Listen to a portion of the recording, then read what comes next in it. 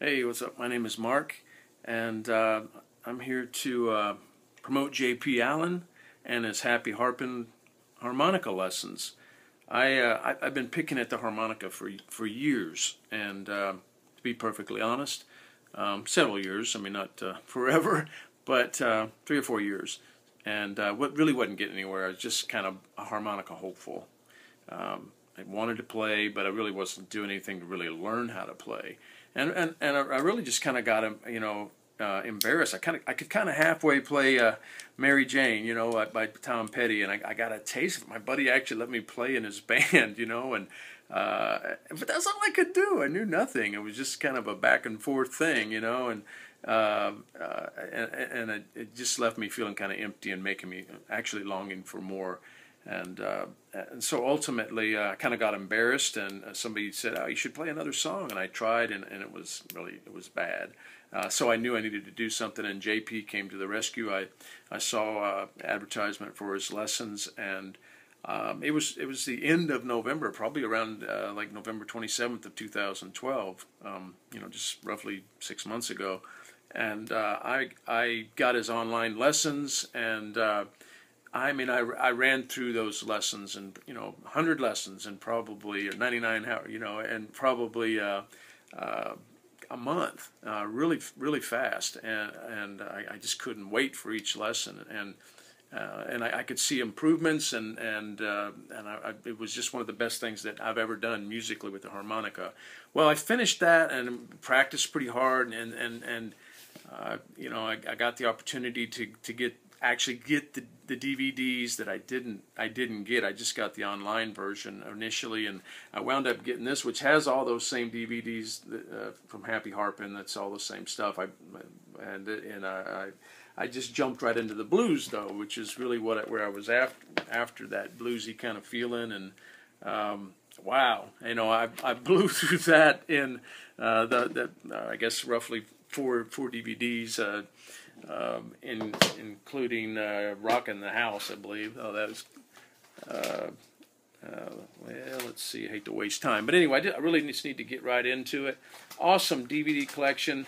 I'm, I'm just going on and on because I really appreciate JP so much, and, and I just want y'all to know that, you know, he, he can really do a lot uh, for your for your plan. I know we can. I'm, I'm just I know I'm not there yet, but uh, this is just an example of some of the stuff that he taught me and how I'm able to just kind of flow back and forth now where I couldn't do that before. So I'll just kind of run around and just kind of show you um, how you kind of get the feel for the harmonica. The special 20 in the key of C, which is what we take our lessons with, what he recommends that you all get is probably the number one choice.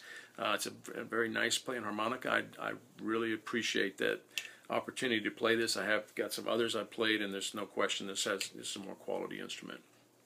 Anyway, thanks again, JP. Really appreciate you.